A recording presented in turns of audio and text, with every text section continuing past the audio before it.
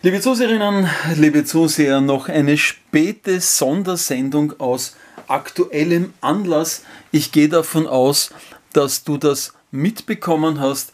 Wir haben hier etliche Nachrichten schon bekommen.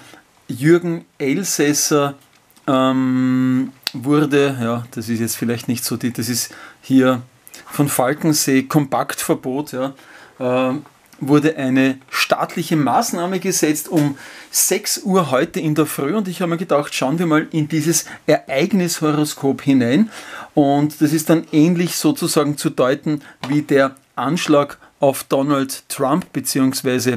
seinen Doppelgänger, was ich eher für wahrscheinlich halte. Und also es ist kein Stundenhoroskop, das heißt, im Stundenhoroskop wäre Jürgen Elsässer natürlich hier zu finden gewesen, Donald Trump wäre im 10. Haus zu finden gewesen, aber bei einem Ereignishoroskop schaut es ein bisschen anders aus. Da wäre hier am ehesten der Aszendent für Jürgen Elsässer. Wie schaut der Aszendent aus? Der ist auf Löwe, Aszendent Löwe und auf Stiergraden. Das heißt, wir sehen Stiergrade von 2 Grad 30 bis 5 Grad. Das heißt, es geht hier um Stolz und Vermögen. Ja? Ganz interessant, wir schauen uns dann gleich den Merkur an, Spitze zweites Haus. Wir sehen nicht nur der Aszendent wird durch die Sonne im zwölften Haus repräsentiert. Also Jürgen Elsässer würde sich in dem Fall hier befinden auf 24 Grad im Krebs, wäre dann auch sozusagen in Konjunktion mit dem Fixstern Pollux, ja, ähm, nicht gerade die angenehmste äh, Besetzung, aber lassen wir mal hier, Pollux verleiht eine feinsinnige, gewitzte, geistreiche, gleichzeitig unerschreckende verwegene Natur. Ja, das würde zu ihm sehr gut passen. Er ist sehr, sehr mutig gewesen. Er ist sehr, sehr klug gewesen und er hat sich natürlich nichts von all dem, was man ihm zum Vorwurf gemacht hat, zu Schulden kommen lassen. Es handelt sich hier um einen reinen Willkürakt. Hier im zwölften Haus fällt auf, dass er quasi ähm, Opfer einer Verschwörung geworden ist. Ja? Die Verschwörung, Spitze 12 des Haus steht im Krebs. Ja? Ähm, wir erkennen auch Mond als Herrscherin des zwölften Hauses, regiert auch die Sonne. Und im fünften Haus können wir davon ausgehen, dass hier sozusagen, naja, eine Art, ähm, wie sagt man, Risiko eingegangen wurde. Ja? Herrscher von zwölf, fünftes Haus, fünftes Haus, auch Haus der Kreativität und auch der Selbstdarstellung. Aszendent Löwe würde natürlich dann auch den Selbstdarstellungscharakter dieser Aktion so auch ein bisschen unterstreichen, denn wir haben hier am Aszendenten die Venus und hier Pluto, wenn auch nicht in Opposition, aber doch spiegelpunktartig miteinander verbunden.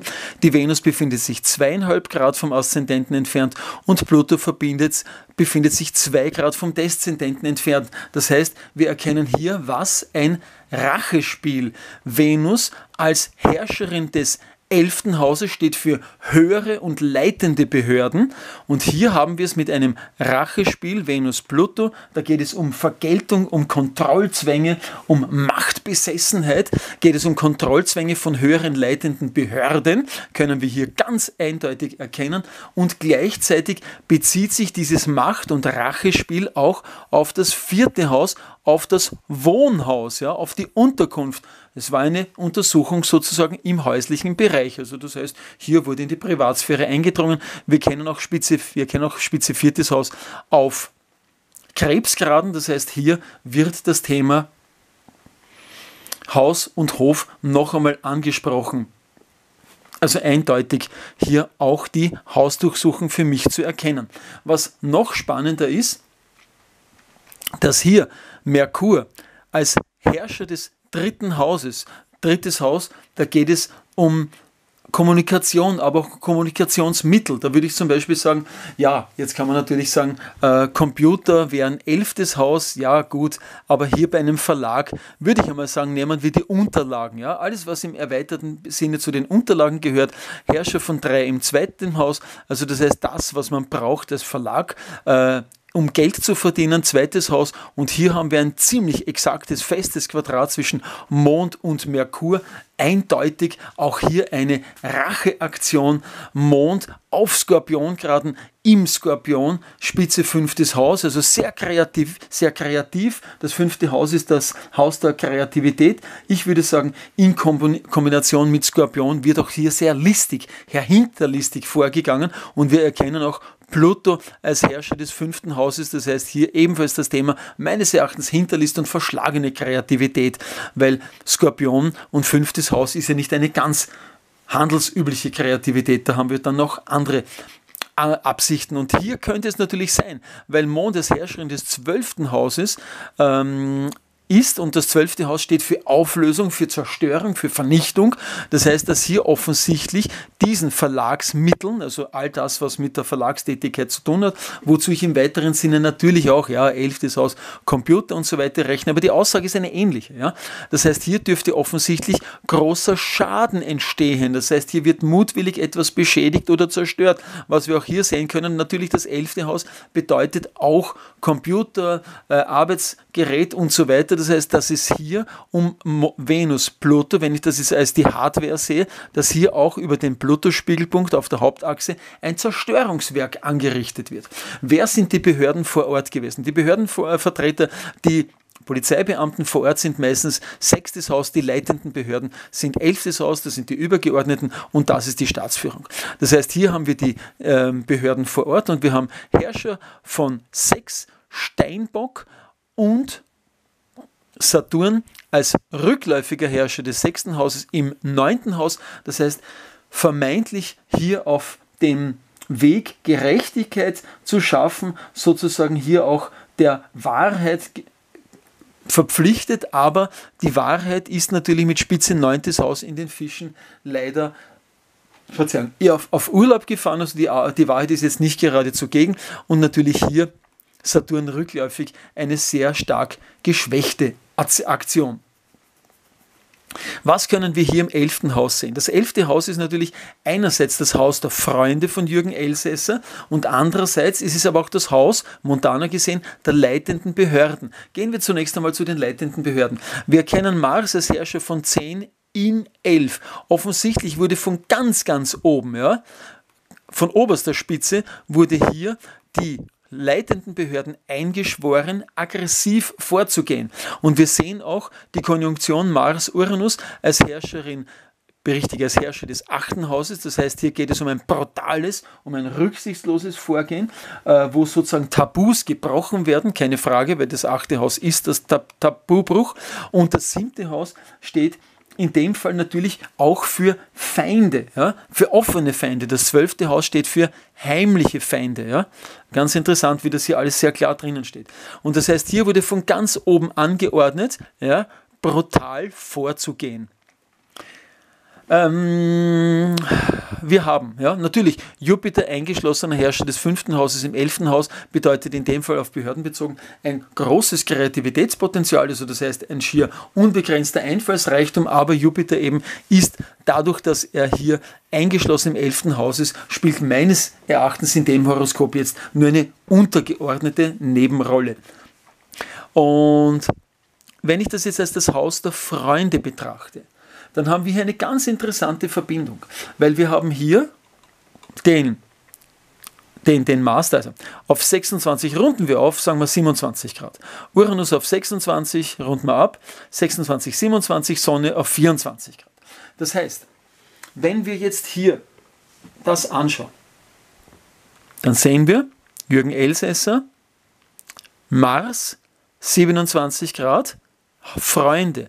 In drei Tagen also das heißt um den 19. herum, Richtung Wochenende gehend, wird ihm offensichtlich möglicherweise, ein Sextil heißt nur die Chance, ja, könnte ihm von Freunden geholfen werden und Uranus mit 26 Grad, also schon in zwei Tagen um den 18. herum, haben wir hier offensichtlich das siebte Haus, steht natürlich auch für Partner, ja, für Verbündete. Es ist nicht nur die Feinde, sondern das können auch Verbündete sein. Und achtes Haus, die Macht haben. Offensichtlich hat er mächtige Kontakte, die wir nicht kennen. Und hier könnte ihm etwas zu Hilfe eilen. Und interessanterweise wird der Mond, ja, blöd, blöd für den weiblichen Mond, wird der Mond in, der jetzt hier auf, was haben wir gesagt, 19 Grad steht, oder?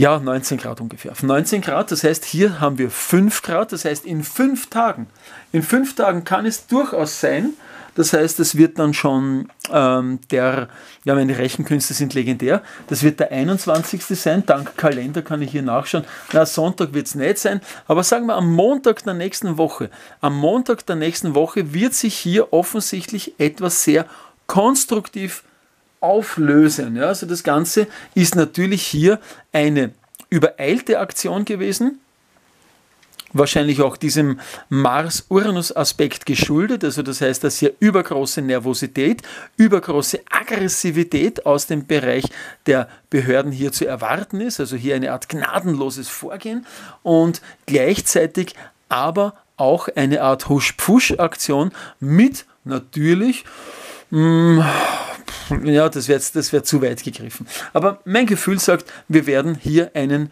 großen weltweiten medialen Aufschrei sehen und hören und vernehmen. Und wir werden hier natürlich äh, den Vorwurf von vielen Ländern hören, dass hier sozusagen regelrecht diktatorische Maßnahmen äh, durchgeführt wurden. Ja, wir sehen hier kleinmütige Rache und hier natürlich ebenfalls, ja, mm, gut, jetzt kann man sagen, Merkur, Mond, Mond, Merkur, äh, Kommunikationsmissverständnis äh, und so weiter, gut, das kann durchaus sein, aber ich sehe hier in erster Linie eben die Beschädigung dieses beschlagnahmten Materials und gleichzeitig auch hier ebenfalls die Beschädigung Pluto-Venus von elektronischen Datenträgern. Ich vermute, die Datenträger werden zurückgegeben, aber sozusagen die Festplatten sind dann schön wieder neu verwendbar, weil da nichts mehr drauf ist. Könnt ihr mir vorstellen. Wie gesagt, das ist jetzt meine Verschwörungstheorie.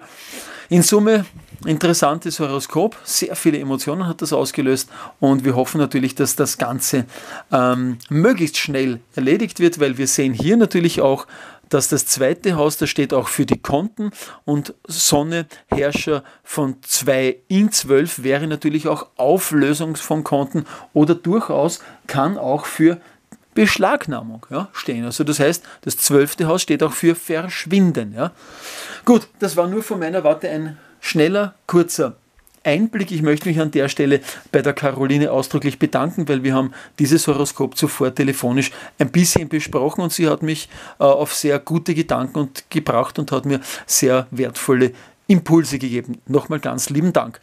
Ähm, ich sehe gerade, ich sehe gerade, ich sehe, ich sehe, was ich nicht sehe. Ähm, na, aber für Quadrat, naja, naja, mit Merkur. Merkur, da wird noch was, das, da wird noch was rauskommen, weil hier sehen wir die Schwierigkeiten, hier sehen wir die Spannungen ähm, bezüglich dieser Mars-Uranus-Konjunktion. Also das heißt, hier mit dem beschlagnahmten Material ähm, Mars-Uranus, puh, das schaut man nicht so gut aus. Das möchte ich jetzt, das möchte ich jetzt nachschauen. Ich weiß das auch nicht alles auswendig. Mars Uranus, schauen wir mal Mars Uranus Merkur, was da darauf zukommt.